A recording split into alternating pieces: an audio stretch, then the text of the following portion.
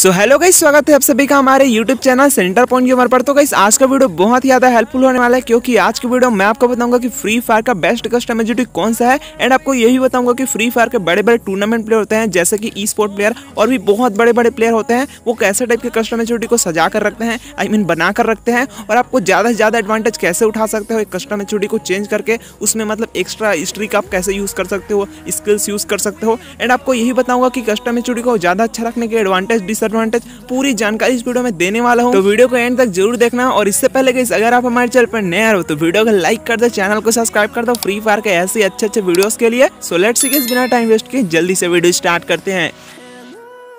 तो अभी गई यहाँ पर टाइम वेस्ट कुछ भी नहीं करेंगे। यहाँ पर सबसे पहले हम चले जाते हैं कस्टम एच पर। तो यहाँ पर आपको पता होगा कि फ्री फायर के सेटिंग पर जाते हैं, फिर यहाँ पर कस्टम एच होता है। ये मैं इसीलिए बता रहा हूँ क्योंकि भाई कुछ कुछ ऐसे नए नए प्लेयर होते हैं जिनको कुछ भी पता नहीं होता तो हमारे जो नए भाई लोग हैं, उनको बताना ज़रूरी होता है। तो देखिए, यहाँ पर कस्टम एच होता है। अब यहाँ से देखिए, आप टू फिंगर का भी यूज़ कर सकते हो थ्री फिंगर का यूज़ कर सकते हो। सबसे पहले हम टू फिंगर के बारे में बात करेंगे। फिर आपको थ्री फिंगर के बारे में अच्छे से एक्सप्लेन करूँगा। तो यहाँ पर देखिए टू फिंगर का कस्टम एच मैं ऐसे आपको नहीं बता रहा। मतलब कि कुछ बंदे समझते हैं कि भाई, ऐसे टू फिंगर का कस्टम एच दिखा दिया, फिर बोल दो भाई कि अपने फ़ोन में भी ऐसा बना लेना तो ऐसा नहीं है। यहाँ पर मैं आपको पहले टू फिंगर का जो कस्टम है चूड़ी है ना, उसके कुछ ऐसे एडवांटेज बताऊँगा जो कि आपको बिल्कुल भी नहीं पता है। इसको यूज़ करने के बाद आप ज़्यादा से ज़्यादा अच्छा खेल सकते हो। और ये देखने के बाद ना, इस वीडियो को एंड तक देखने के बाद आप सच में बोलोगे, भाई यू आर द बेस्ट आप बिल्कुल सही बता रहे हो। तो देखिए, यहाँ पर सबसे पहला एडवांटेज हम बात करते हैं, ये वाली जो एच है, उसमें आप ज़्यादा फ़ायदा कैसे उठा सकते हो? तो देखिए इस यहाँ पर आप जो कस्टम एच देख रहे हो ना, ये जो एच है, बिल्कुल डिफ़ॉल्ट है। मतलब कि कस्टम एच जो फ्री फायर का सेट चाहते हैं ना जो सबसे पहले फ़ोन में रहता है वो कस्टम एच है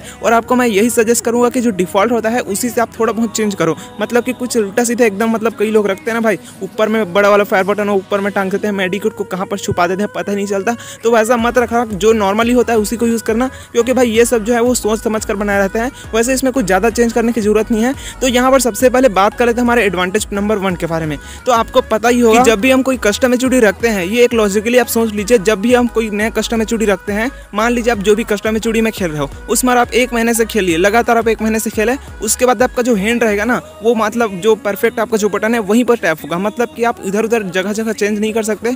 जैसे एक महीना किसी कस्टमर स्टूडियो पर खेल लिए तो आपका जो फिंगर है, सिर्फ़ वहीं पर टैप होता है। मतलब बटन चाहे कितना छोटा क्यों कर लो बार बार एक्टिविटी वहीं पर होती है। जैसे ग्लूहाल का बटन आप कहीं किनारे में रख लिए तो सिर्फ़ वहीं पर आपका टैप होगा। मतलब एक क्रिया टिप की बन जाती है। इसे आप एक वर्क टिप बोल सकते हो। तो देखेगा इस यहाँ पर कस्टम एच आपको देखने को मिल जाएगा। लेफ़्ट फायर बटन आपको पता ही होगा जब हम स्कोप ओपन करते हैं तो वहाँ पर जो बड़ा फायर बटन होता है, वो उसमें रिक्वायर बहुत ज़्यादा होता है। तो उसमें स्कोप को स्कोप में उसमें फायर ना करके हम जो लेफ़्ट फायर बटन होता है, उसको यूज़ करते हैं। तो लेफ़्ट फायर बटन जो होता है बेसिकली अगर देखा जाए तो डिफ़ॉल्ट में यहाँ पर बगल में दिया रहता है। मतलब कि जो रनिंग का बटन होता है, उसके बगल में दिया रहता है डिफ़ॉल्ट में, और ज़्यादातर बंदे इसको यहीं पर रखते हैं, इसको चेंज नहीं करते।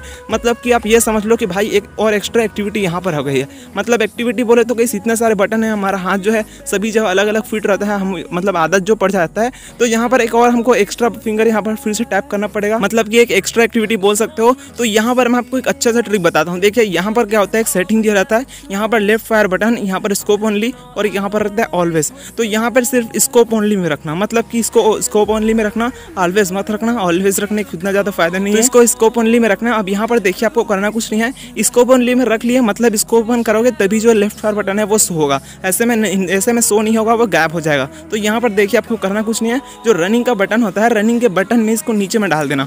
मतलब कि उसके उसके ऊपर ही आपको जितना बड़ा साइज़ है, दोनों को बराबर करके डाल देना। उसके बाद गई जब भी आप स्कोप ओपन करोगे तो स्कोप ओपन ओपन करें तो पहली बार आप दौड़ नहीं सकते। तो दौड़ नहीं सकते तो वहाँ पर जो बटन रहेगा दौड़ने का टाइम जो मतलब जहाँ पर दौड़ते हो, वो वाला बटन रहेगा। उसी के ऊपर जो है स्कोप जो जो स्कोप फायर लेफ़्ट बटन रहता है, वो आ जाएगा। इसलिए आपको डबल टिबल बटन रखने की ज़रूरत नहीं है। ये एक आपको एडवांटेज में आपको बता दिया। अब बात करते हैं दूसरे एडवांटेज के बारे में। तो भी कैसे हम बात करते हैं हमारे दूसरे एडवांटेज के बारे में। तो हमारा दूसरा एडवांटेज कुछ ऐसा है कि आप जितने भी बटन रखते हो। मतलब कि जो भी आपका फायर का बटन है, जैसे कि मैं बड़ा फायर बटन की बात नहीं कर रहा हूँ लेफ़्ट फायर बटन और जो रनिंग का बटन है और स्कोप का बटन है, ये सभी का साइज़ बिल्कुल बड़ा करके रखो। बड़ा रखने का फ़ायदा आपको बताता हूँ, देखिए कभी कभी क्या होता है कि हम बटन इधर उधर टैप कर लेते हैं। हालाँकि जो प्रो रहते हैं, वो लोग बार बार आदत पड़ जाता है, लेकिन फिर भी कभी ना कभी गलती होती है, जिसकी वजह से हम मरते हैं। ऐसे तैसे गेम में नहीं मर पाते। तो यहाँ पर देखिए, इसको आपको क्या करना है, जितने भी बटन है, सभी का साइज़ को बड़ा कर दो। मतलब इतना बड़ा भी नहीं बोल रहा हूँ कि भाई डिस्प्ले ही ना दिखे, इसका साइज़ को थोड़ा बड़ा करो और कोशिश करो इसको ट्रांसपेरेंट में खेलने की। मतलब मतलब कि इसको गायब कर दो। गायब करोगे क्या होगा कि बटन भी बड़ा रहेगा और आपका आदत भी वहाँ पर पड़ जाएगा। वैसे भी देखने की ज़रूरत नहीं होती सबका आदत ही रहता है बटन को फायर करने में। देख कर कोई भी फायर नहीं करता। तो देखिए आपको इसको बड़ा कर देना है और ट्रांसपेरेंट भी कर दो जिससे आपका डिस्प्ले भी अच्छा से दिखे। कोई भी यहाँ पर मतलब दिक्कत टाइप का ना हो चाहे देखने में ही नहीं तो सभी को कम से कम सिक्सटी सेवेंटी एट्टी ऐसे कर करके रखो बड़ा बड़ा साइज़ में रखोगे तो ज़्यादा अच्छा स्टेप होगा। उंगली जो है इधर उधर नहीं होगा डायरेक्ट उसी पर पड़ जाएगा। तो ये हमारा दूसरा एडवांटेज हो गया। तो अब हम बात करते हैं कि हमारे तीसरे एडवांटेज के बारे में। हमारे तीसरा एडवांटेज कुछ कंफ्यूजन टाइप का है। यहाँ पर बात कर रहा हूँ इसमें बड़े फायर बटन की। बड़े फायर बटन नहीं की ऐसा प्रॉब्लम बन चुका है जो हर बंदे को होता है कि भाई कई बंदे से हेडशॉट नहीं लगता। अब वो लोग क्या करते हैं कि भाई हेडशॉट नहीं लग रहा है फायर का बटन छोटा करके देखते हैं फायर का बटन बड़ा करके रखते हैं। इसमें बहुत सारी वीडियोस भी बन चुकी है वन जी रैम के लिए क्या रखो टू जी रैम के लिए क्या रखो अलग अलग वो कंपनी के लिए क्या रखो, ये करो, वो करो।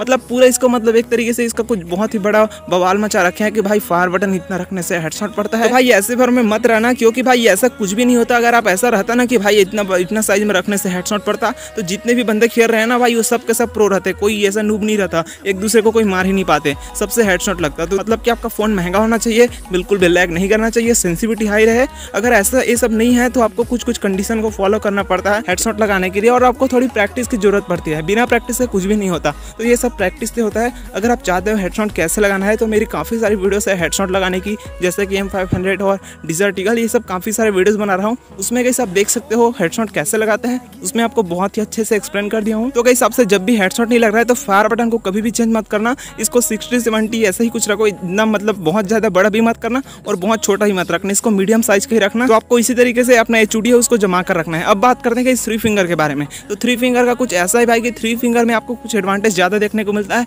वहाँ पर आपका जो काम रहेगा ना, वो तीन काम होगा, एक साथ। मतलब कि आप जो है, एक तरीके से फायर कर सकते हो और आपका एक उंगली तो खाली रहेगा, जैसे फायर कर रहे हो तो। तो वहाँ पर तुरंत अपना जो एक और फिंगर बचा रहेगा उसमें तुरंत ग्लूहाल का बटन को टैप कर सकते हो। उसके बाद फिर से आप एक और फिंगर रखोगे मतलब उसमें कहीं तुरंत से मतलब जो वायर का बटन है उसको दबाकर ग्लूहाल लगा सकते हो फिर वहाँ से भागने का बटन को भी टैप कर सकते हो। तो तीन काम एक साथ होते हैं तीन से चार काम एक साथ कर सकते हो। थ्री तो फिंगर में आपको कुछ ऐसा सेटअप करके रखना होगा। अगर आप चाहते हो कि थ्री फिंगर का अच्छा से अच्छा कस्टमर चोटी कैसे बना सके और भी एडवांटेज जानना चाहते हो तो वीडियो में कमेंट करके बताओ। आपको अगर चाहिए इस थ्री फिंगर में भी अच्छा सच्चा एडवांटेज तो वीडियो में कमेंट करोगे इसमें आपको दूसरा वीडियो बनाकर जोड़ दूँगा। तो अगर आपको वीडियो पसंद आया होगा तो वीडियो को लाइक कर दो चैनल को सब्सक्राइब कर दो। सो लेट्स मिलते हैं हमारे नेक्स्ट वीडियो पर।